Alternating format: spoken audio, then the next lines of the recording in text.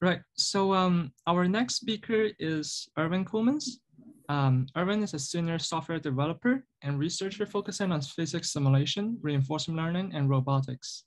Um, he is the creator of the popular Bullet physics engine, which has been the basis for lots of robotics and RL works out there. Um, Erwin also has a rich and diverse industrial experience ranging from Sony, AMD, Google. Um, recently, he joined NVIDIA and will be working on the Omniverse platform. Uh, we are very thankful to have him here and let's welcome Erwin for his talk. So um, I'm going to talk about simulation and sim real for quadruped robots, but uh, the talk will also be mentioning a lot of kind of related um, research and technologies. So um, when I accepted this um, tutorial or workshop, I actually was working at Google, working on PyBullet and Rex and MuJoCo. But since two months uh, ago, I joined NVIDIA, so kind of uh, things changed a lot uh, for my work. So maybe it feels a little bit awkward to talk about these different technologies while I also work at NVIDIA. So I try to balance the, the talk about uh, stuff that I did at Google and also the stuff that we are doing at NVIDIA, because I think they are very complementary and very exciting both. So um, if you look at uh, quadruped locomotion and quadrupeds, uh, you can look at it uh, in different ways. You can look at uh, the actual uh, hardware. Like uh, you can see, um, we have been working on it for like six years. There has been the, the Minitaur that we started with, which was made in Philadelphia here by Ghost Robotics. Then we have more recently the Laikago, which is a bit more advanced platform by Unitree in China. Then there is the A1 and the, the Go Edu Educational, which is a more affordable platform, which I think is very exciting for uh, research because of the affordability. Uh, I think it goes for like 15,000 or something in that range, you know, so that means that uh, a lot of labs can actually use it, which means that it can also be used for reproducibility. Because um, some of the other platforms like um, the ANYmal, which is a super cool robot, um, it might not be affordable for a lot of the research labs because it's like, uh, I don't know exactly, but like 200,000 or 250,000, which is beyond the budget for many uh, people. The other thing is actually repairability. Once you are starting learning and training with reinforcement learning, the robot will break down. And um, we had it a few times in the research. We had an intern, PhD intern doing the research, and um, the robot broke down just before um, the, the experiments and had to send back to China. And it took like two or three months just because of the, um, yeah, all, the um, instructions and everything at the customs. So you can see that a lot of the successful um, robot labs, they build their own robot actually. Like ETH um, with the ANYmal built their own robot and uh, also yeah many more of those labs. So that's not only because um, pushing the state of the art, but also they can repair the robots when they make uh, when they break. And you can see some cool videos by Boston Dynamics about breaking robots and how they fix them. Anyway, that's the hardware side of things. Uh, I also want to briefly um, call out uh, the project that we work, have been working with. It's at Stanford University. That's kind of a course for uh, graduate students. PUPPER is a very nice cheap platform. It's like um, $600 uh, I will briefly uh, mention how you can build it and how you how the Stanford course looked like for the PUPPER. So then uh, we have simulators at the bottom. We have uh, PyBullet I've been working on for a long time. There is a tiny differential simulator, which is more recent work.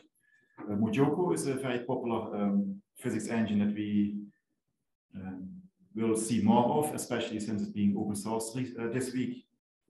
RaiSim is also a nice uh, physics engine by uh, Jemin Hwangbo at, um, at the time at ETH.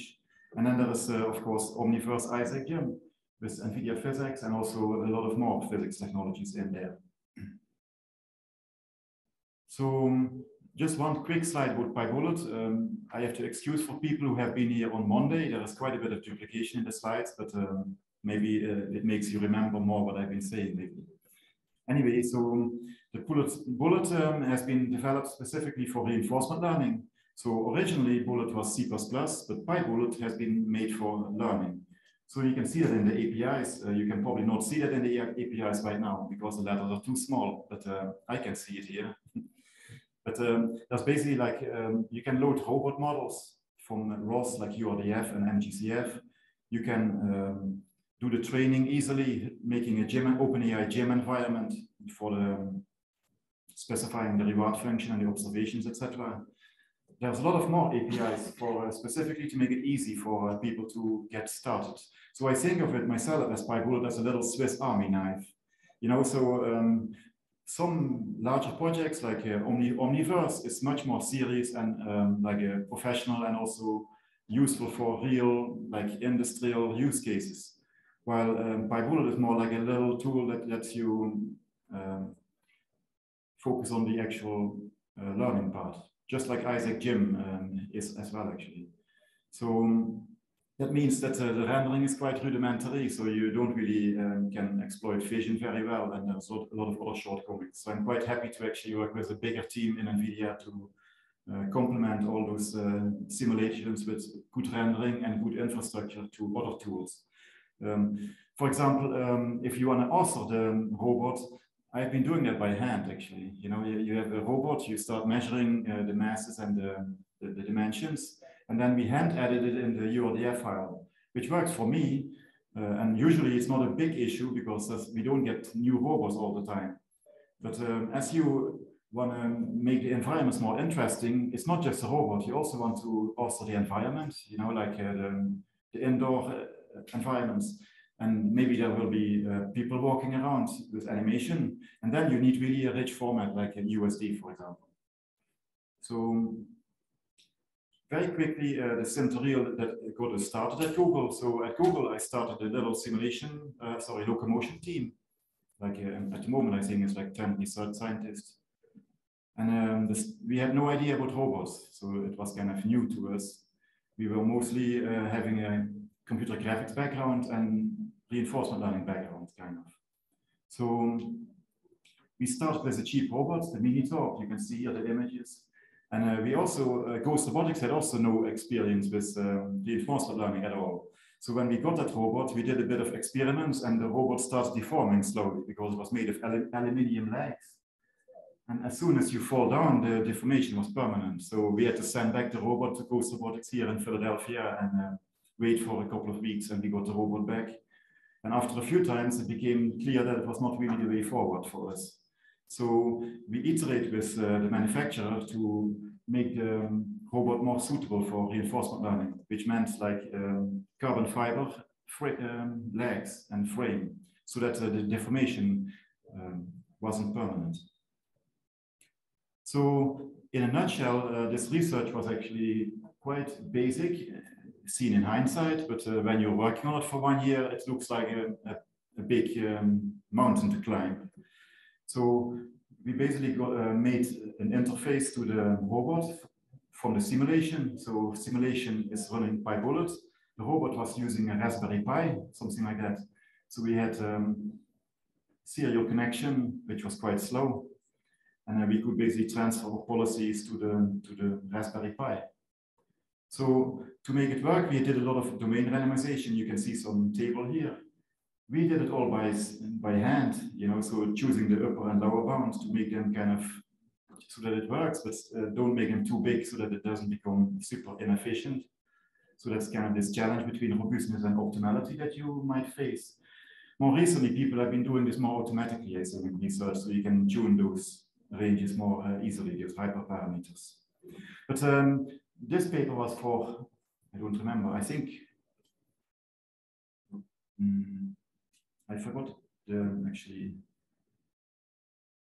It was in January. I remember that actually, but I'm thinking which uh, conference it was actually.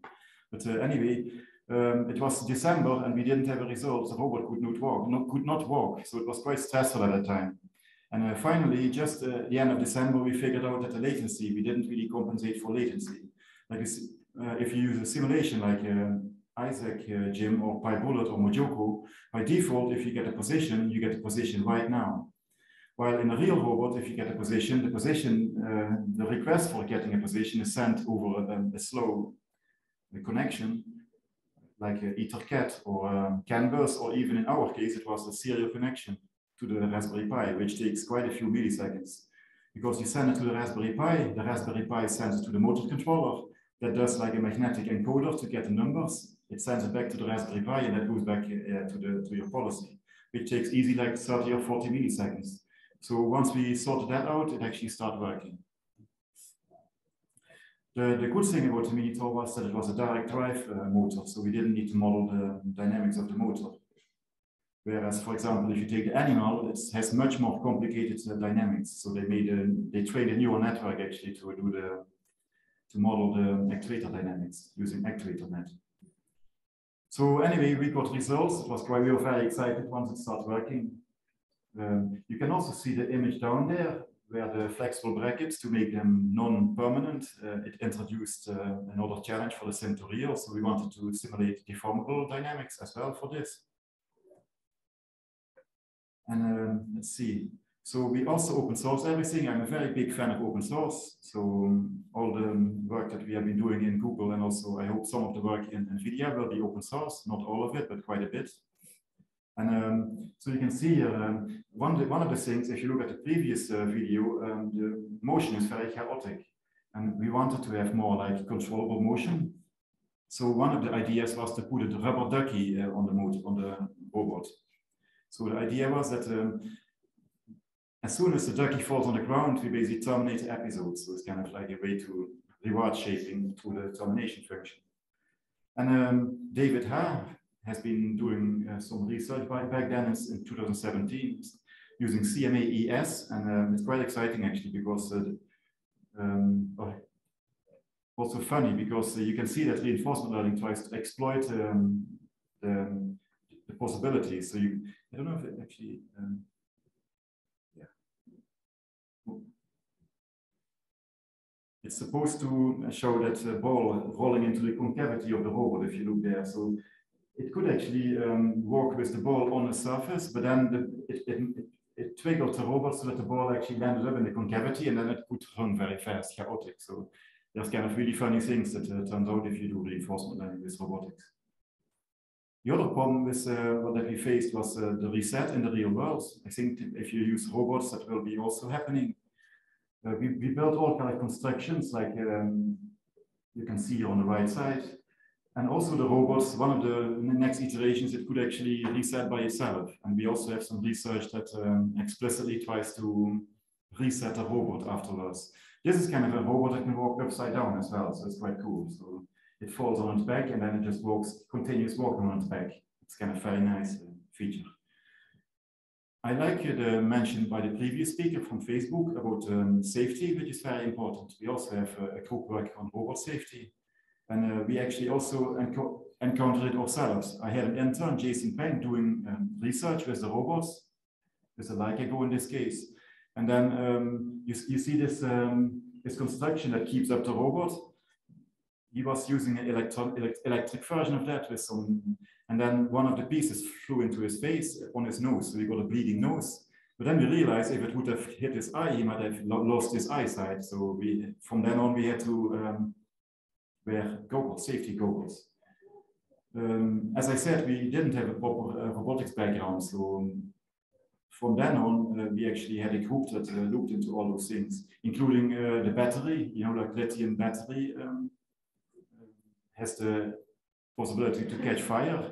And the, the building that we were in Google was wooden building. So if it would have catch fire, the whole building would have been gone probably. So we learned how to deal with uh, lithium batteries, etc. So safety is a big issue.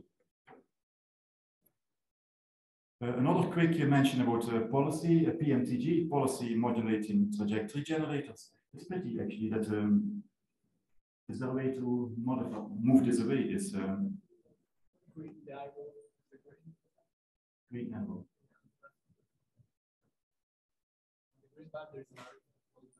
It's almost impossible to do reverse. Uh,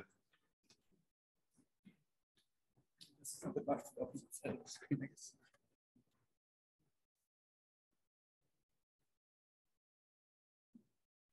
Okay, that's that. So for this uh, previous work, we actually did directly applied uh, torque control and position control using PID. But um, often you can get more interesting and easier to learn policies by changing the action space. So we have this policy modulating trajectory where we have a trajectory generator. I think even um, in biology, like uh, cats and also people, we have some kind of built-in trajectory generator apparently that uh, makes you like move in repetitive uh, motions. So we added this as well for the for the robots because some good results, more predictable results. Because without that, uh, the motion can be very chaotic.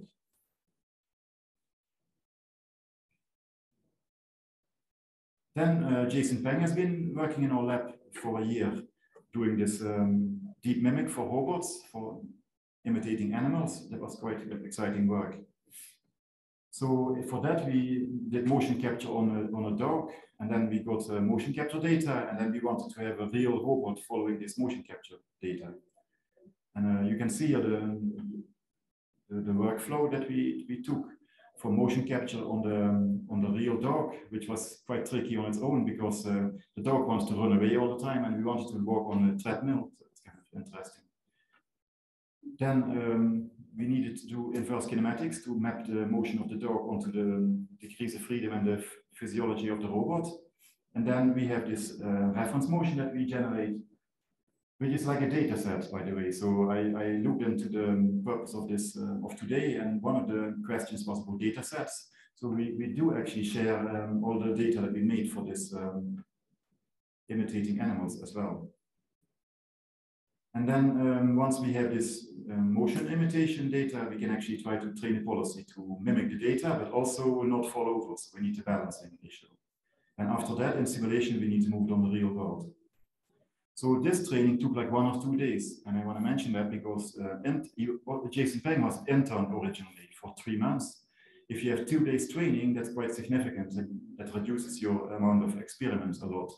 So I think with tools like um, Isaac Gym, uh, reducing this to 10 minutes or 15 minutes is much more exciting for uh, interns and also for, uh, for full-time uh, researchers. So this is all open source as well, so you can check it out. Uh, there was a Git repo, that's a Google Research motion imitation. There's a fork called paper, that's the original data, and then uh, we have been using this repository uh, for follow-up research. So we added a model predictive control because um, a lot of times uh, you can throw reinforcement learning at a problem, but uh, you might actually have a good solution um, with traditional control, you know, optimal control or model predictive control. So we implemented that. We actually took it from the MIT Mini Cheetah. They have a nice um, paper on this, this convex MPC. We also implemented, implemented this for the A1 robot. So you see here the, the simulation and also the actual robots doing the same uh, policy. I mean, the A1 robot, of course, comes with the built-in gaits, but we wanted to make it so that we could control them for our own purposes, so we can do more interesting work. Um, that's one of the nice things about um, open source. You want to indeed have uh, benchmarks and um, setups that can be reused by other people. So we had a nice surprise by um, Baidu team in China. They used our uh, repository to train the A1 to climb the stairs. So I put a link here. They also made their work open source. And um, yeah, as I said, I wanted to briefly mention the DJI Pupper. That's what we have been doing the last year with uh, Stanford University. There's a link um, that um, goes over all the steps for students and, and, graduates to, to build a robot and also to actually train the robot. Which is, um, I think the cost is like $600, but you also need a bit of handiness to, to build a robot. I think they are going to work with some company to let you order the robot for like less than $1,000. But of course, this robot is um, is not as, as nice as the A1. So I think if you can afford it, you probably want to have an A1 robot. So now quick, quickly uh, something about future directions, because I think that's more, more exciting, because I think the stuff that I mentioned so far is, um, is already quite well known, and um, we want to do new stuff as researchers. So on one side is the, the direction of much faster simulations that has a lot of potential. Not only that you can train much faster, but you can also use the simulation for, um, for the intelligence on the robot in the future, I think.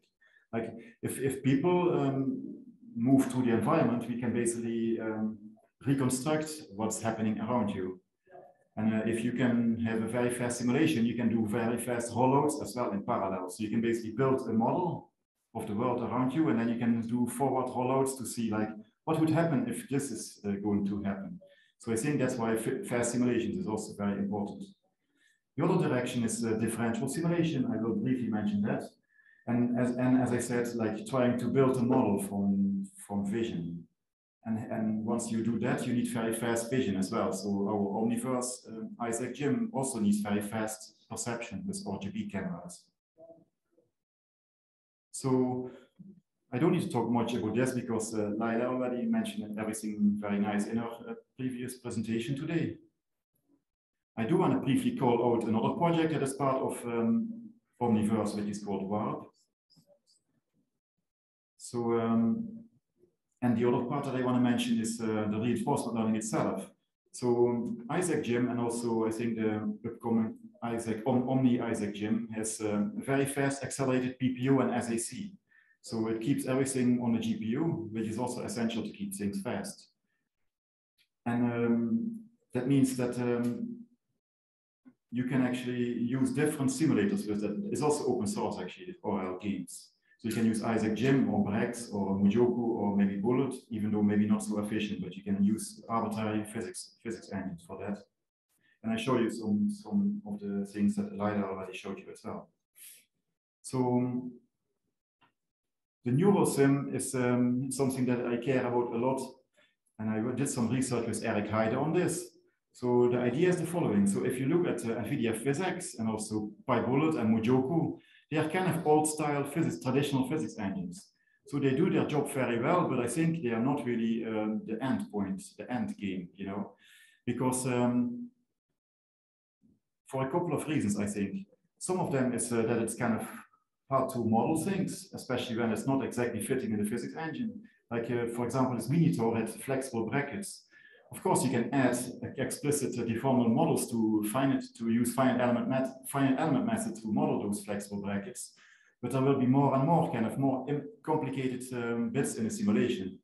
And instead of modeling it explicitly, I think the nice thing about neural sim that you can use data to make your simulator better. So there's a couple of different options for that. You see the analytical model, that is what uh, MuJoCo and PyBullet and NVIDIA PhysX does right now today. You can do a fully data-driven model where you have a black box neural network that you train from data, and then uh, you hope that everything works, but you have no idea uh, how it works. Then there is the residual physics, where we basically have a traditional physics engine and we run a neural network next to it and then try to augment and push it a bit towards um, uh, closing the reality gap. And the last one, that's the hybrid simulation that we have been working on. That is kind of like a physics engine, like uh, MuJoCo and PhysX and Bullet, but uh, anywhere in the in the um, in the implementation, you can actually replace the, um, the bits with neural networks.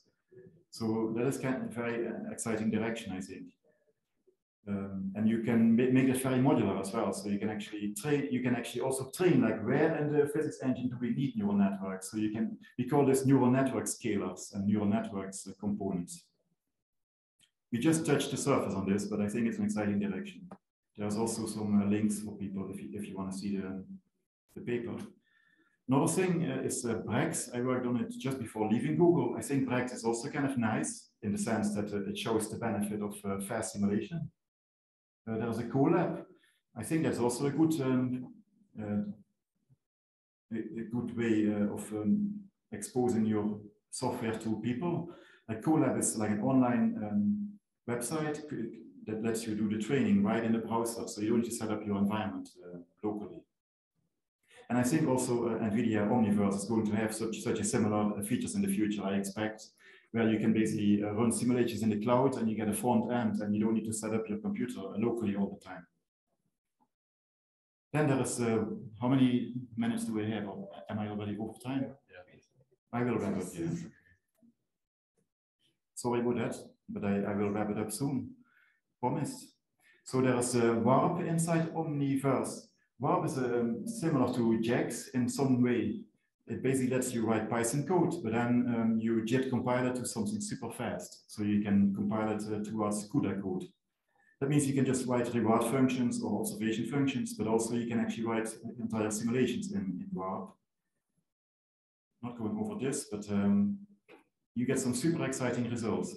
And also Warp is differentiable, so we can also use Warp for this research in kind of hybrid physics engines where we have kind of a traditional pipeline, but also some bit data-driven models. So Warp also has already components from, uh, from actual physics engines like OpenVDB or Nano, NanoVDB. And we might even get uh, neural networks in there um, in the future for this kind of things. And just one more minute to wrap up. Um, so more recently with uh, Eric Heiden, we have been working on video to sim. The working title was actually Pixels to URDF. So we basically as input, we have um, RGB images or RGB video. Then we use uh, the Facebook uh, detectron to detect the objects, like where the objects are approximately and where the joints, where we expect some joints. Then we have a render engine, a differential renderer from NVIDIA, the nvdiffrast, and we have the differential simulator from, um, from the previous project, the tiny differential simulator. Um, having everything differentiable means when we can backpropagate from the um, from the pixels all the way back to the reward function. And that lets us actually reconstruct the URDF file from that contraption. So we have some results in simulation and we also have some simple results in the real world. Very simple, so it's kind of not very general purpose yet, but we might use things like NeRFs to make it more general purpose. Thank you very much.